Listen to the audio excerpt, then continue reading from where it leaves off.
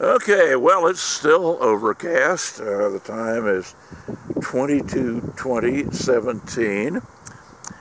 Ah, yes, here are my neighbors, William and Chad, waiting for the eclipse, looking at me, and waiting for me to do my magic and clear the skies. Say something. Still waiting on that eclipse. Hopefully we'll see it. Got my fingers crossed.